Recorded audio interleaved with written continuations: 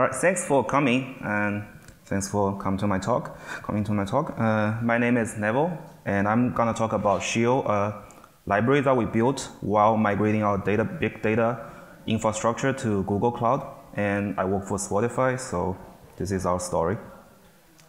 So who am I? Just a little bit uh, introduction. I've been working at Spotify since 2011, since we launched in the US.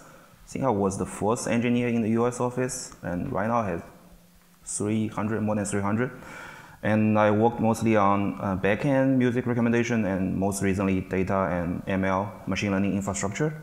And I've been using Scala since 2013, and that's what we use mostly for machine learning and data pipelines. And a little bit about Spotify. Uh, hopefully, some of you have used it, tried it. And we're a music streaming company, so we have apps that you can listen to music with on your phone and desktop and a lot of other devices. We have a lot of users and a lot of data.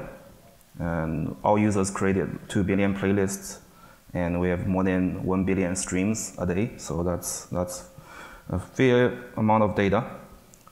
This is one of our first Hadoop cluster. And this is uh, one of the early engineers, Yon, and celebrating that he solved the Hadoop overheating problem by installing a drape on the on the window. So, yeah. I was in the football room in the very first office of Spotify. So we went to several iterations of big data stack and technology. We have this on-premise in the backroom cluster, moved to AWS, uh, Elastic MapReduce, uh, because we can't scale, you know, inside the inside office building. And then we moved back to on-premise. So as uh, of right now, we run a 2,500 node cluster. That's, I think that's the biggest in, in Europe, and those are pretty beefy machines, like 64 gig memory, 10 drives each, lots of hardware. And we ran out of power capacity in the data center. So at that point, like we cannot grow our Hadoop cluster anymore. And yes, we have a lot of uh, data and a lot of jobs. Spotify is very uh, uh, autonomous. We have a lot of small teams running different features and analysis and building machine learning recommendation pipelines. We have 20k jobs running a day uh, on Hadoop. Yes, so we've run, uh, been through a lot of different data stack technology. We used to be mainly a Python shop, and uh, we created Luigi. It's a pretty popular framework for doing job orchestration. It's written in Python. It can also do Python map, uh, stream, map reduce streaming which at the time was a great idea because it's Python is very flexible, it's easy to write, but it has issues. It has performance problems. It's dynamic type, not type safe. When you run like thousands of pipelines and maintain like I don't know how many schemas we have, hundreds or thousands. It's hard to keep track of the and, and, and reason about the system, and you run into like runtime errors. Five hours into your job, that's that's ugly, and that's hard to debug and troubleshoot. So we moved on to uh, the Scala stack, the popular ones out there, like Scalding, that's a Twitter library on top of Cascading, and which in, and in turn runs on MapReduce. Uh, and we also use, use Spark for machine learning mainly. So we've grown quite a bit, and most of our users have no Scala experience, but we've grown over the past three, four years to like company-wide using it for data pipelines. And most users are pretty happy. We also use Storm for real-time processing. And then we use Hive for ad hoc analysis. Hive, Hive is a SQL big data analysis engine that runs on Hadoop. So I'm going to talk a little bit more about each of these technology and how they fit in our infrastructure. So we made a decision at that point, like we cannot grow our infrastructure anymore, and it, it's a point where we should decide whether to build our own uh, data centers or just pay someone else to do it. And then we decide Google has a lot of pretty cool technology at the time, and they just they're start starting to to push uh, Google Cloud, and it seems to be a great fit for our problems. So we started moving about two years ago. Hive is one of the main stack that we use for ad hoc analysis. Uh, but there are problems. We use Hive mainly with a row-oriented file format like Avro or TSV. The problem with that is any query requires a full scan over the entire file. It's fairly inefficient. Imagine if you have a SQL table of 100 columns and in most of the time select two or three out of it. It's uh, inefficient. It runs on MapReduce, which means it compiles to a lot of individual MapReduce steps, a lot of disk I/O in between, spin up, tear down jobs. Uh, it's fairly inefficient. We've also uh, used, uh, we, we also use uh, Hive with Parquet, a columnar file uh, storage format, which supposedly will speed things up. It does speed things up, but the support in Hive is pretty immature at the time. And also, it's, it's great for ad hoc analysis. You write a SQL query and get some results after an hour or so, but it's not so great for, for plugging into your data pipelines. It's hard to write UDF. You have to write a Java class and deploy the jar. It's a lot of overhead for doing this kind of uh, ad hoc, uh, quick uh, iterations of, of data analysis. So uh, we consider BigQuery, which is a Google Cloud product. Uh, BigQuery originated from the Google paper Dremel from uh, 2010. Actually inspired two popular Apache projects, Parquet the columnar storage and Drill the SQL analytics engine. It's very optimized and allows like it, it, can query 10 terabytes of data within like tens of seconds. It's, it's very fast. Uh, you can write UDFs in JavaScript. That's another thing for ease of uh, de development. And the, another nice thing is us, uh, the consumer or uh, customer for cloud technology, you pay for the bytes you process. So you select two columns out of 100 in the table, you pay 2% of a full range scan has very, very good uh, integration with Beam and Dataflow, which I'm going to get into in a minute. Those are the, the data pipelining technology Google uh, uh, offers. So typical workloads, uh, again, these are not uh, real world benchmarks. This, this is the reflection of user experience inside our Hadoop uh, cluster versus when we move to Google Cloud. So before moving to BigQuery, users have to wait for like minutes or hours for a job to finish. And most, a lot of the time, running a big Hive job will take down the cluster or take half of the resources and slow down other ETL or mission critical pipelines. And BigQuery manages its own resources, and you just upload your data set, write a query, 20 seconds later, you get a result. It's, and I think the cost uh, to query like a couple hundred uh, couple hundred gigabytes of data is like less than a dollar. It's like, yeah. Uh, adoption is great. Uh, pretty much everyone, like even non-data engineers, just product owners, analysts, front-end engineers, they can just query logs and debug their, their production issue. We make a lot of queries. Uh, that's not the number of memory in your first PC. Uh, we query like 500 petabytes uh, of data per month. And if you look at the screenshot down there, it's uh, queried 1.76 terabytes of data in 200 seconds. We also use Scalding mainly for pipelines. Uh, some of the features that people love, like Discover Weekly, is made in uh, written in Scalding. It's 200 lines of pipeline that does, I don't know, 17 joins, uh, like has 20 distributed cache lookup tables and hash trees and all that for approximate uh, nearest neighbor lookup. It's open source by Twitter, used at a lot of successful tech companies. It's very proven, but again, it runs on MapReduce, so there's a fair amount of I.O. overhead. Uh, cascading, the, the next generation of cascading supposedly will run on Tez, but I don't know anyone using it in production yet. There's still like some uh, stability problem with it. Scalding doesn't do streaming, and at Twitter, they actually built another library on top called Summingbird, which runs both on Scalding and Storm. The problem with that is now you have to maintain two clusters, one Hadoop cluster and one Storm cluster, and just another layer of abstraction. Uh, and we also use Spark. Spark has a lot of feature. Uh, interactive ML, does uh, batch streaming, it has notebook, has SQL, a lot of things. We use it mostly for machine learning because of the iterative in-memory caching features that Spark has. Uh, Spark supports both batch streaming, but with two uh, APIs. Uh, I'm going to get to that in a bit. Spark runs on Hadoop, Mesos, and a few other. There's a few other operation modes, but uh, a common problem that people face is there are a lot of tuning parameters. It's and you have to, to tune them based on your the type of your application. It's it's it gets harder when you have a large organization of hundreds of engineers trying to write pipelines, and tuning it is not so easy. Mm.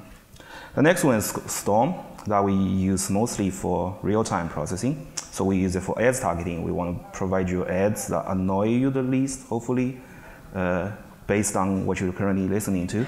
And uh, for new users, because we don't know nothing uh, about the new users, and we have to generate recommendations after a couple of tracks the user listen to after signing up. So uh, that that's what we use Storm for. The problem is it's another cluster. It runs, uh, it uses Nimbus and Zookeeper, just a lot more operation overhead. It has a Java and a Clojure API, but it's fairly low level. So a lot of the operations that's you have to, to wire it manually, like windowing and joins. It's fairly fairly low level. So uh, to summarize the problems we're facing, uh, cluster management a big pain. Um, multi-tenancy is pretty bad. We have one gigantic shared cluster. It's hard to manage who uses what amount of resources, and there's a lot of contention. Three sets of APIs, we have to rewrite code here and there. And also, once we are moving to uh, Google Cloud, it's missing a lot of these connectors to the Google storage uh, products like PubSub, Bigtable that we leverage heavily, and also BigQuery, those uh, products that we want to use. So, what is uh, Beam and Cloud Dataflow? It's, uh, let's look at it a little bit. So at the beginning, there's MapReduce. It's a Google paper. They publish a lot of papers on big data technologies. Uh, Bigtable, which uh, inspired Cassandra and DynamoDB, I believe. Dremel, we talked about it. It's uh, the basis for Parquet and uh, Drill. And then most recently, they published this MillWheel paper, which introduces a new unified batch and streaming um, uh, pipeline data model, which also inspired the one that's being used in Flink. So basically, before that, you have two systems like Lambda, Lambda architecture. You have a batch system and a streaming system. And the idea of MillWheel um, is basically batch is a special case of streaming. In streaming, you have an infinite amount of data just coming in through uh, unbounded collection, and in batch, all your data are known, and it's a finite set of uh, uh, data points in a single collection. That's the main distinct, uh, uh, difference. So you know, when Google uh, started offering Google Cloud as a product, they also open source Cloud Dataflow as a data processing library on top of Google Cloud. And they donated to Apache, so now it becomes Apache Beam. Uh, there, so we talked about the model, which is unified batch and streaming, and it also has a decoupled uh, SDK layer and the runner. So you can write your SDK uh, as a pipeline writer. You can write it in Java, and it supports Python now also, and it can run on one of the supported runners. There's Flink, Spark, Dataflow. You can run it locally. I think there's also Apache Apex, which was just merged to master, so you can run on that as well. So, and it introduces four important questions when doing batch or streaming. Uh, what are the results uh, calculated? Like you want to sum, take top, aggregate, and the operation that you want to do. Where in event time are results calculated? Like uh, when did the event happen? When you use a click button uh, on a phone. And when in processing time are they materialized? Meaning when you click your, data, uh, your, your phone, it's not going to generate a pipeline right away. It's going through some Kafka or PubSub ingestion couple hour, uh, minutes or maybe hours if there's a network outage or whatever reason, it will arrive on the server and then you start processing. So that's the processing time, which is different from uh, event time. And then how do you deal with these discrepancies, like data arriving late and or missing? So uh, on the left left hand side, we have the most classic batch model where you just process everything once they're ready in a gigantic uh, window. By the way, these slides are all available online uh, on the Beam website. They have uh, pretty nice animation. I'm not going to dig into the nitty gritty details of how the model actually works, but these, this is the conceptual uh, idea. So first you have the batch, which process everything in one shot once they're ready. If you do it on a daily basis, you have to wait for 24 hours when all the data arrive and you start your processing. If it's a business critical report, you might, don't, you might not want to wait for 24 hours. So you can do window batch, like basically have smaller windows when you ingest and, and, process data. And then the next step up will be I want to process as soon as data arrives, so that's streaming. But in that case, you, inevitably you will lose data because some server is down or network is broken and so you can't collect data from certain data centers. Like the, the red dot over there, that's uh, late data point that's being discarded in this particular scenario. And the last case is streaming plus accumulation. So I can do streaming, like process the data as soon as they arrive, but I, I can also handle late data based on whatever uh, accumulation logic I have. For example, I do a running uh, 10 minute top artist, and then I process this 10, the last 10 minutes, but some of the, the log events were missing from the last minutes because you know, server down or network problem, and then once they arrive, I can recompute the top 10 using the, the increment, the delta. So allows you to do certain advanced operations on, on streaming mode. That's pretty nice. So we've already talked about, so the vision is you have different language SDKs, the Java Python one, and the one I wrote that's in Scala, and then you can run it on any of the runners supported, and they will handle the execution. So for those of you who are familiar with Spark, this is probably the more uh, technically uh, technical details about the model differences. In Spark, there's RDD for uh, the, the, the most basic uh, data model is RDD resilient distributed data set for batch processing, and then there's a D stream for streaming processing, which is really an infinite sequence of mini RDDs. So when you hear the term like uh, micro batching uh, instead of real streaming, that's, that's what it means. And so that's two different APIs. Spark has in-memory caching, which is great for, for uh, machine learning, but in the case of Beam, there's only one low, uh, low-level data model, the parallel collection, which can handle both batch and streaming. Each element within the parallel collection has implicit timestamp and window assignment. So if you're processing in a batch mode, everybody belongs to the same uh, window and you're just processing them as, as one unit. If you're doing it in, in streaming mode, you can process each window as soon as they are uh, completed or closed. And execution is also a little bit different. Spark has one driver or master node and a bunch of executors. So the drivers basically dynamically uh, decide what's get, what gets executed on the workers. So you can do things like transformation, which is basically uh, coordinating a bunch of workers doing some kind of map or filter function. And then action, which basically transmits, uh, tra uh, transfers data from the workers to the master. Like I want to say, compute the top 10. Just everybody sends local top 10 to the master, and master does the global top 10. Uh, in the case of Beam, there's no master, uh, so everything is statically uh, planned. You write your pipeline, say run, and it gets executed, and, and that's it. So just a different design philosophy. And because there's no master node, you can't do actions like transmitting data back to the master. You have to basically wait for the, for the pipeline to finish and then and look at it.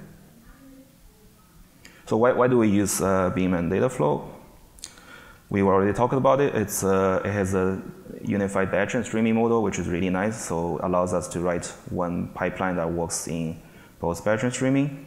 And we run it on Google Data, Cloud Dataflow, which is a fully managed uh, service. So basically write your code, run the main method, it submits to the cloud, spins up the cluster, tears down afterwards, and has everything included to operate like the Google Cloud products or the different uh, storage products like BigQuery, Bigtable. And when you run on Google Cloud, because they, they are running on Google Cloud VMs, uh, Google com compute instances, uh, there's auto scaling and dynamic work rebalancing. So basically, the framework can detect if there are not enough resources or too, too much resources, and it will tear down or spin up VMs as, as needed, which is great.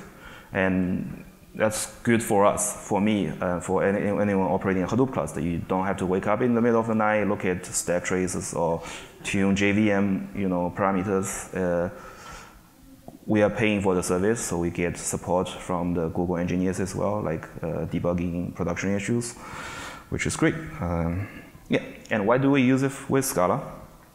Obviously, uh, if any one of you have uh, seen like Java data pipelines, it's it's, it's not fun to write. It's a lot of boilerplate, and it, Scala is gaining a lot of traction in the big data uh, world because it's concise, the functional programming pattern, it's a good fit for data processing because basically you take immutable data, apply mathematical transformations, generate new data right to a sink. So it's great. And also it's, it runs on JVM, so you can operate with, uh, interop with all the Hadoop or Java libraries that you like. So we use that, and we there's a lot of numerical libraries that's uh, available for Scala, like Breeze, which is num, similar to NumPy for Scala. It does a lot of linear algebra uh, computation, and then Algebird from Twitter, which is a library for doing parallel computation and a lot of approximation algorithms like Bloom filters and uh, unique count, histogram, those kind of operations. And those, those operations are important because they run well in constant memory in both batch and, and streaming. Because in batch, yes, we can spin up as many machines as possible. In streaming, you have limited resources. You don't want to blow up your, your JVM stack because it ran out of memory. And yes, and we also use Scala macros uh, in production for generating code, and I'm going to demo that in a minute.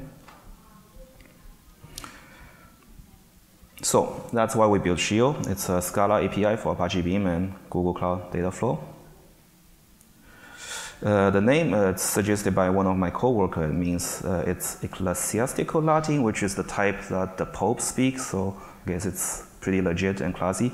It's the name of a Scala library, a Scala big data library that starts with SC and ends with IO. So also a pretty good fit. Uh, unfortunately, I couldn't register uh, sc.io domain. They don't allow two-letter domains for whatever reason. Maybe a Unicode one. anyway, it's uh, open source. It's uh, on GitHub and Apache licensed. So that's what it looks like. Basically, underlying uh, Scio, there's the Dataflow Java SDK, supports veteran streaming, has uh, I/O or components for interop with a lot of the Google products and then we added a bunch of stuff that's, that's, that the Scala developers like, you know, like interactive REPL and a lot of uh, other features. So this is what WordCount looks like, and if you've done Spark or Scalding, it looks almost the same. I would say it's maybe 80% copy pastable from Scalding or Spark, which is great. So for most of our users who are used to those libraries, there's no learning curve again, PageRank, 13 lines of code, and it's fairly uh, 10 iterations, and then you have a damping factor, you have the source to destination links, you do this uh, rank redistribution, it's fairly simple. So why, why do we like it? Uh, type safe BigQuery. So we talked about BigQuery, it's fast, it's really nice. And in my opinion, uh, or we actually did some internal benchmark, uh, most of the time BigQuery uh, is faster and also cheaper than writing pipelines yourself. If you can write it in a SQL, I mean, anyone can write SQL query. It's mostly copy paste and then read a menu like some UDFs. And if you can do that, uh, yes, it's it, ideally want, what we want to do as much uh, SQL query as possible. But there are certain things that's hard to write express in SQL, like custom logic, machine learning, learning transformation, whatever. And then you want to plug it into a Scala pipeline, and you can do that in in Scio in a type safe manner.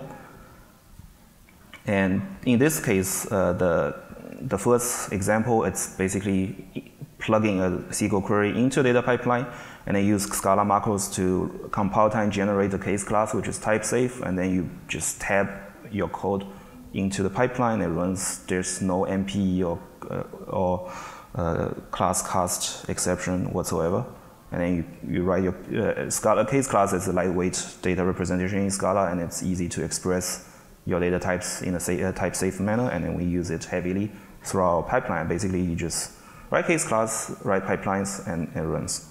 I'm gonna do a demo on this in a bit. Um, so as we talked about, BigQuery is great for slicing and dicing. It's extremely fast and also a lot of times cheaper than running very, like writing very tedious pipelines yourself. And with the, the, the type safe macros, it's seamlessly integrated into a, a type safe language in the data pipeline and we can do the custom operation afterwards. I've seen users doing like selecting features from BigQuery and do uh, some machine learning fancy uh, training model whatever in the same pipeline. Uh, that's great. Um, we have interactive REPL, so you can do all these things uh, interactively. And that's going to be part of the demo. I'm going to show it in a bit.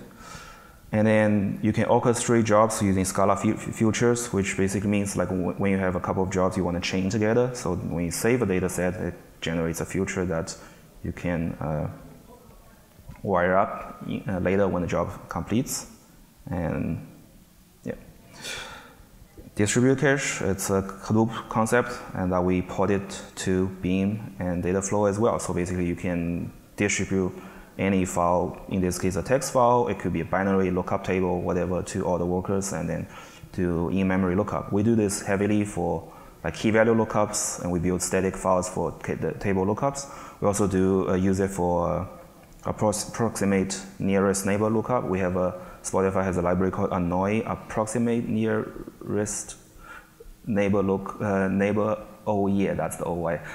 anyway, so it's called Annoy. Uh, you build a you build a forest, random forest of you know vectors and whatnot, and it can do constant time nearest neighbor lookup in memory, which is great. That's how we use. Uh, that was what we use to generate a lot of the the recommendations. So basically, finding similar tracks, similar artists to what you already listened to. So we use that heavily as well in the data pipelines and other goodies. Yes, uh, when you write Scala, or the, a lot of these uh, functional transformations like flat map, filter, uh, map, group by key, they get uh, injected into the runtime like web UI diagram, so you can see where where's my code and what's it doing, the line number and the file. Like most of the time when I debug a user, uh, code, I don't need to look at the source code. I just look at the diagram and see if it's doing extra steps and what is the step where from the source code it's from. That's great. We added a lot of extra features that we use heavily inside Spotify, like we use BigQuery heavily. We also optimized for different scenarios of joining, like if you have hotkeys on the left side, you have tiny right side, you have a sparse left side, all these different scenarios we optimized for. And and then, of course, different IOs. We also use protobuf, and we are working with TensorFlow, that's a machine learning library, so we, we have uh, interop uh, components to, to deal with that. Yes. So we like it. It's a Swiss Army knife of data processing on Google Cloud. You can use it to pull data or read and write any uh, Google Cloud components. Of course, it works, it works with HDFS or local file system as well. So it's just really convenient to have everything in a single pipeline. Yes, demo time. Uh, doing big data on your laptop. Let's, let's look at the BigQuery uh, first. So this is a public BigQuery dataset. Uh, let's look at the commit table. I think it's just a collection of all the, uh, the GitHub uh, commits uh, on public repos, and it has 665 gigs and 183 million rows. So let's make a query. So in this case, I'm selecting from this table and then looking for repo name where contains Spotify slash shield, something like that. And oh, I need to change the option, use the new SQL and disable cache so that I'm you know demonstrating it's a real query, not cache. yes. So it's running, it should take about 10 seconds. This is how most of Spotify users work, actually, by the way. So you do like web UI explore your data. And then I know my query works, I got some results back. Yes, there are some names. I see my name in there, so uh, query should probably work correctly. Now I want to plug into a data pipeline. So back to uh, Scio REPL. By the way, this is a self-contained jar you can install with Homebrew, or you can just download the jar and run it. And if you you have a Google Cloud account and have local credentials, it doesn't have any dependency. It just uh, wire up. So yeah, let's say uh, rows equals to bq dot get query rows. Oh yeah, sorry. Let me uh, fix that. Yeah. So I can paste the query here. This is the official Google uh, Cloud API, by the way. If you use like SQL any kind of uh, SQL library in, in Java, it's not pretty. What you get is basically a, a map of string to uh, objects, and you have to cast objects to what you think it is. So this rows next gives me a single row. And then I've done this a million times, so I kind of can guess what it is, git also, it's object, but really it's a table row. So it's very tedious, and then if you do it wrong in the data pipeline, you get a NPE or cast error. That's ugly, and those are the kind of things we want to avoid, like running a pipeline for two hours and it fails. Mm, let's see, get. I want to get the nested field inside author and the name, so I can do something like this.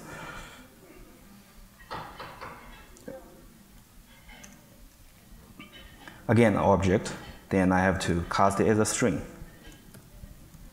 So not the easiest thing to do.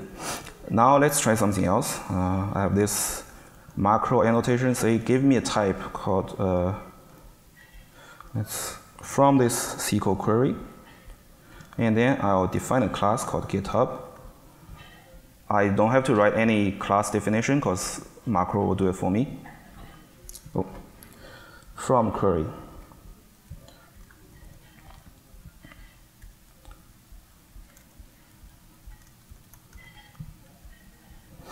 So it will do a BigQuery dry run and generate classes compile time uh, on the fly. So now I have a GitHub class. It has a two pretty string method. It's just case classes with type safe fields, and all the nullable fields are option, which means if you deal it deal with it in a in a uh, proper fashion, you're not never gonna get null pointer errors in a run, uh, runtime uh, pipeline. So let's try get something in a type safe manner. So get rows again bq.get typed rows, GitHub. I don't have to enter the query again because it's encoded in the class. Well, of course, I can, I can override it with a different query, but in this case, I don't have to. Mm -hmm. And because the result table is already cached, I actually didn't execute another uh, query because why pay twice if I'm just you know, getting the pre, you know, from the previous query. So now I get the rows. That's a GitHub class. I can just do author. It's option. So I know it's not null, so I get, which is not recommended in a real pipeline because you want to check if it's null. Mm, get name. I again I know it's not null, so I'll get okay, it works. Great. Now let's plug that into a real pipeline. So I'll do SC, which is the Scio context, similar to a Spark context. That's where you start your pipeline. So I can say uh, uh, typed BigQuery of this type dot map, and then I know this guy works, so I can just do this. Basically, getting a single leaf field out of this case class, and then I want to do count by value, say, you know, the users and the number of commits. And then I can do a close and collect, basically say. Uh, close this pipeline, run it, and collect the data from the result. Okay. And this is running on my laptop, so hope it doesn't blow up. I know it won't. There are only just a few thousand commits in the repo. Again, I get an iterator, so I can then for each print. Okay, those are the committers uh, of Scio repo. It's pretty easy. Now I know this works. Let's try it uh, with a fancier query. So type, and let's try it for real on the cluster or in the cloud. From query,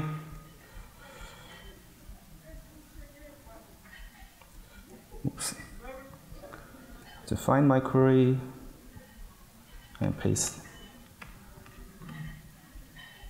Actually, I have I have it in here, so let's paste it from here. Okay. This time, instead of uh, looking for Spotify Scio repo, let's look for anything in a Spotify repo. So all I have to do is change the equal predicate to like a like, just string prefix match, simple. This will generate a little bit more data, so I don't want to run it on my laptop. Uh, okay.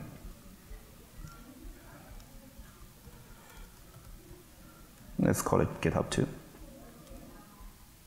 All right. The schema should be actually the same, but anyway, let's do another thing. So previously I was running everything on my uh, laptop. It's running in the so-called local mode. Now I want to change the configuration, say, to run on Google Cloud. I have to do this thing, pass in a new parameter saying uh, use the Dataflow pipeline runner with this playground Google project running in the US East Zone, and then with this GCS bucket, it's like the S3 of uh, Google Cloud. Bucket is temporary staging dataset. I do that, and then new context. Just basically give me a new SC that uh, corresponds to the to the new pipeline that's going to run on Google Cloud. So let's go back a little bit from my previous to my previous uh, one-liner job. I'm gonna change this to uh, GitHub 2. And that's it, that's the only difference. I run it, it's gonna submit a job to the cloud and uh, we'll wait for like a minute or two.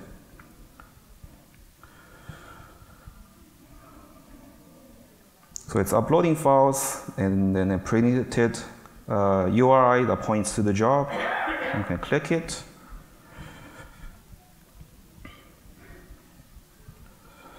So you can see the transformation. I started with a type BigQuery, a map, and there's no line number here because it's not from a source file, just from the interactive console, but you get the idea. Let's, while we're waiting for this, let's move back to the slides. So, uh, this is great. This makes it so much easier to adopt, and people really like it. Uh, currently, I think there are 200, more than 200 users using Scio, uh, and more than 400 production pipelines within Spotify. And last time I did these talks in November, there were 70 pipelines. So that's great. People just uh, pick it up and, and, use it. Most of them are new to Scala and to, to Scio. Most of them are from like a data science background, like using Python or R mostly, and not a problem. And we can uh, they can learn pretty quickly and then pick up. We have people writing both uh, batch and streaming jobs. Streaming is mostly for dashboards, some experimental recommendation jobs as well. Externally, there are like couple of companies using it, some of them fairly large, prefer to stay anonymous, I think. Collaboration is great. We built it as an open source project from the ground up. Everything is public on GitHub, uh, Slack, and Gitter. And there are external users helping each other on, on Gitter channel, so basically reduces my role in the, in the support process and people are submitting pull requests, feature enhancements uh, to the project as well. So it's it's great. And three, that's the number of people at Spotify actually working on Scio. It's me and another two. One of them is a new hire, like fresh out of school, and we are basically supporting 200 plus developers and everyone else uh, external uh, outside of the company, and it worked out pretty well use cases. So let's talk about some uh, real use cases within Spotify.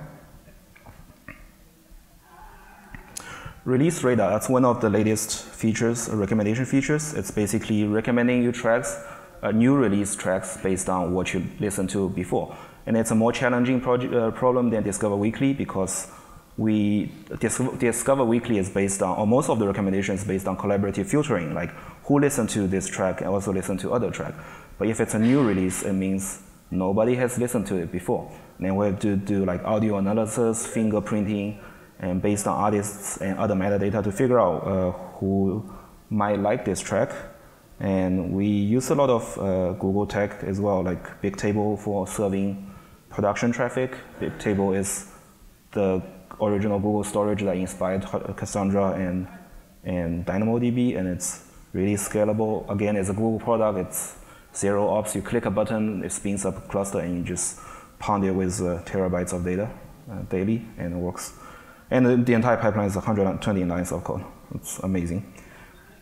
Fan Insights, that's the data portal that we provide to uh, artists and label managers. So basically, I want to see, you know, what's the demographics, age, gender of the fans who listen to a particular album or track of this artist, and a lot of different dimensions. I think they have maybe hundreds of different, it's the artist track that's two dimension times different context, ge geography, demographic data, and then weekly, daily, and monthly aggregation. So a lot of dimensions.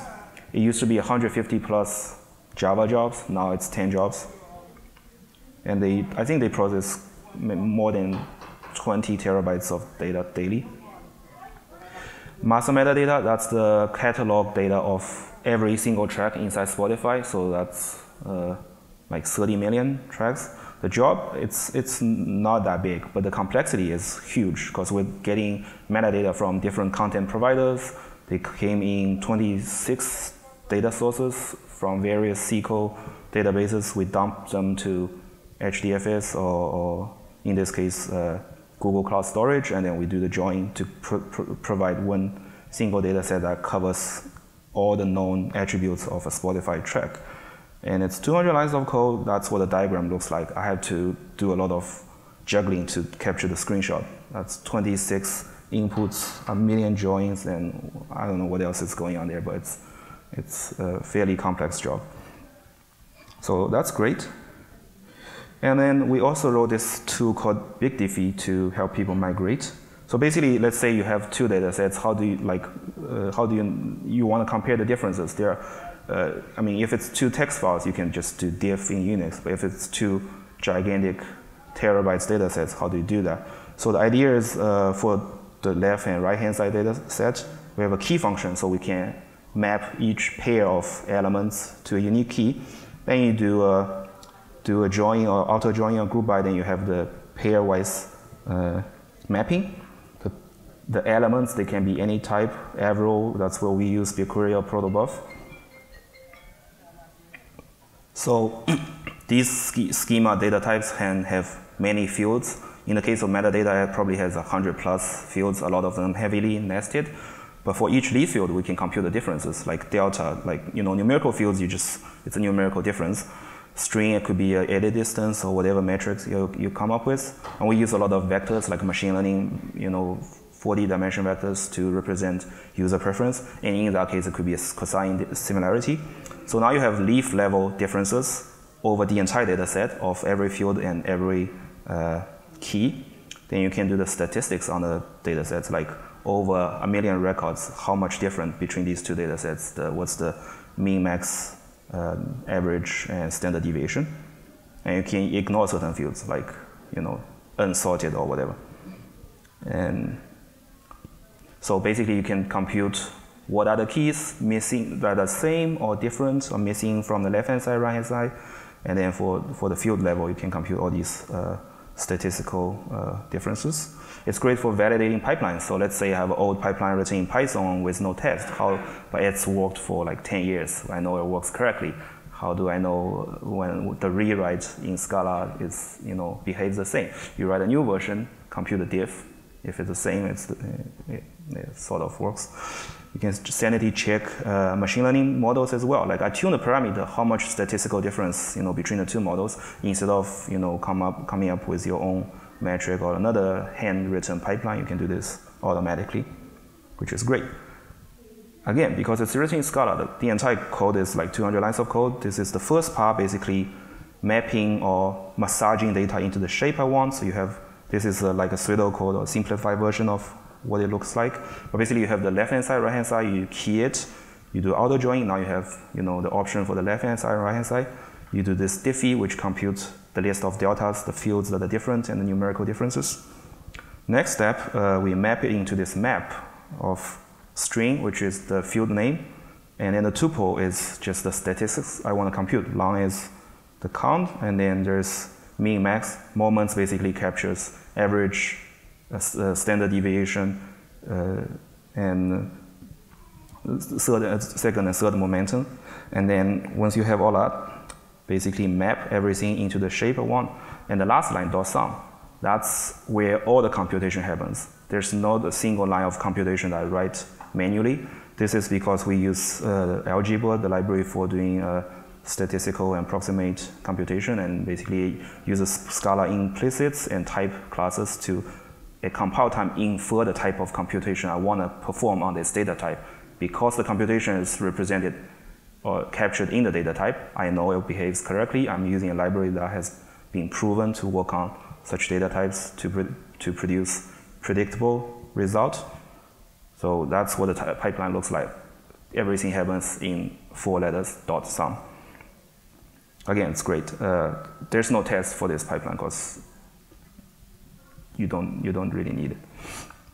So this is uh, exaggeration, but that's what a lot of people have been doing. Copy paste from your legacy code base to Scio, run the big BigDiffy, profit. the pipeline that we that we saw before, uh, it was rewritten from Java, the crazy one with 26 sources. They actually di discovered two bugs, some deduping problem with a repeated field or whatever, with BigDiff. Basically, just wrote a new pipeline, run it, and then discover the bug. We use it for almost everything. Uh, A/B testing; those are pretty uh, complex pipelines doing like uh, statistical analysis. Um, again, ads, targeting, and monetization, those are fairly complex uh, stuff. And then audio, audio, fingerprinting as well. So we have uh, a lot of ML data pipelines written in Scio. Yes, and that's, that's the end. Let's go back just before we Let's go back. Oh, the, uh, the, the pipeline finished. Let's take a quick look. So I can see that the input is from a BigQuery, and this is the original query string. It has 20,000 elements, 52 megs, so slightly bigger than uh, small data, I guess. And then it wrote 8,000 elements. And you can see there's auto scaling in uh, action. I didn't specify the number of workers or any configuration to figure out the input is fairly small, one worker, and then it spin up and tear down. That's it. Let's go back to the terminal as well. Just look at, okay, now here's my uh, data, the iterator. So let's say uh, to list.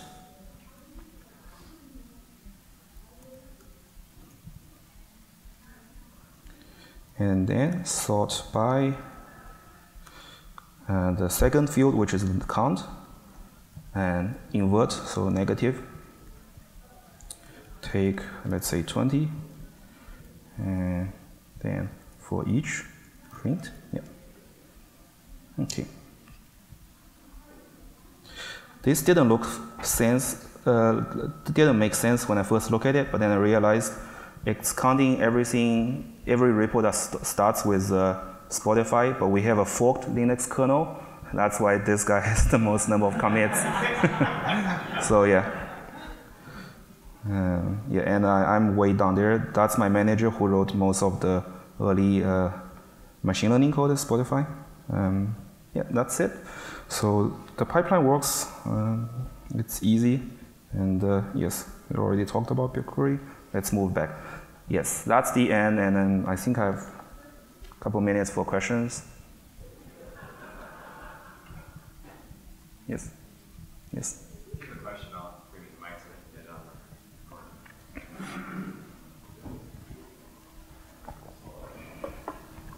So at this point, have you guys? Do you guys still use any of your old Hadoop infrastructure? We, we still use it because uh, there are jobs that's hard to migrate. We're still in the progress of migrating them.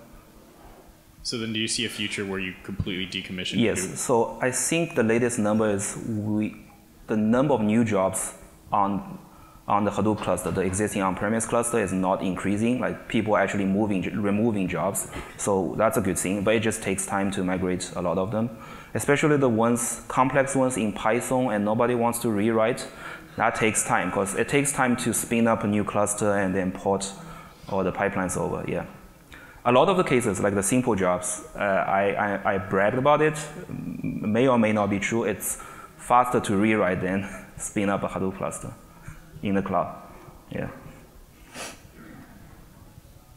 Uh, any other questions? Yes, please. So how applicable is this to non-big data? I mean, it seems like a very interesting tool set, but if we didn't have big data...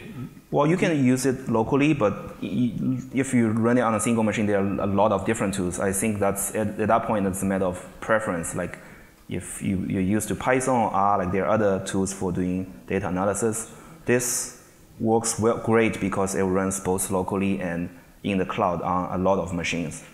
And I guess there, you, you can use it with BigQuery and it's more predictable than the, the dynamic, you know, uh, JSON-based BigQuery, and you can do a lot of data analysis with BigQuery plus this, the, the wiring and the custom logic.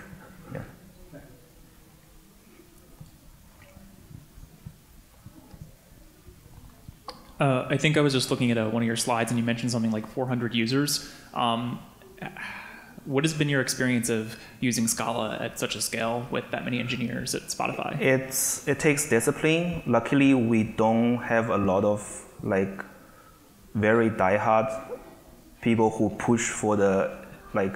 It's not I'm against that. So for those of you not familiar, like in Scala, there's a subgroup of very uh, dedicated functional programming uh, users who try to write it in a more like Haskell style, but that tend to become more cryptic for entry level users. And I think the nice thing about Scala using it for data pipeline, and most of a lot of our users have Java experience or Python. Like you can write it as Java or Python and basically cheat your way through your pipeline. yes, but if if it gets your job done, I, I have no problem against it. There's it's always easier to refactor than writing a lot of code that's hard to reason about. So uh, yes, it takes discipline. We don't use a lot of the fancy features. The, uh, probably the fanciest when we the, the, the only category theory concept we introduce to users is semi-group because that's what you need for summing things in parallel in a predictable way. And we use macros and a little bit shapeless, but in a very contained environment. Like we don't leak abstraction or, or interface to the users. Most of the time, you don't need to know what's going on under the hood. Yeah. Yes. Sorry, do you think? Uh, do you think that uh, the conciseness of Scala has helped keep your code maintainable? Yes, I believe so. I think uh, on a couple of different reasons. It's it, it's short and the refactoring is easy. So a lot of the times, for example, the typical case you have you do like A join B, and the default join does a full shuffle and it's inefficient. Uh, that's a lesson I took from from Scalding. So you can you know just search replace join with sketch join or, or skew join or different variations of join that optimize based on the shape of your data set. It's easy to refactor in those cases. And it's short, which means it encourages people to discuss their code in Slack or in, over email. Like what we've seen in the past is people never ask for code review for Java pipelines because you send a pull request with like 20 files, like 50 lines each, uh, 500 lines each. I'm not gonna go click through all the files, or, or I have to download the, the repo and then you know load it up in IntelliJ and I have to you know click around to understand it. Uh, most people stick to a very disciplined way of writing pipeline. I keep it short, everything you know, small and modular, and and that really helped uh, like maintainable code with writing maintainable code.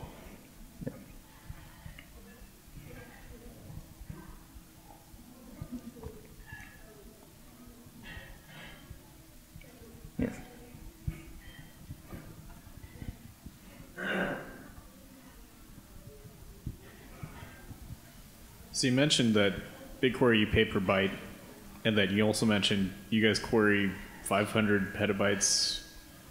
Is that a day or a month? A month. That are you guys using like on-demand? You're are, like that has to get really expensive. At, at yes. Rate, right. So yes, you, it is expensive. Uh, it depends on you see it. Developer time is also expensive. So sometimes you spend more. You know, like I, I'm not a power, uh, BigQuery power user, but for a lot of analysts like them, spending I don't know a couple hours writing a query and then run it for another couple of minutes or hours to get a job done versus spending a month writing a pipeline that's unmaintainable, that someone else has to fix, you know, five years down the road. It's a trade-off. We do have some very expensive BigQueries, but we have auditing internally, and then when we dis- deter, you know detects certain outliers, we will optimize the query, which is, is doable and it's easier than optimizing a, a really, really bad, badly written pipeline. Yeah. And also because we are, I, I guess because we are one of the biggest Google Cloud users, we get some discounts. yeah, discounts, and also we get to access like uh, you know alpha beta features. So are you guys using the flat rate pricing then, or are you guys using still on-demand pricing for querying? That I don't know. Sorry, I, I'm, I'm not the one paying the bills. So.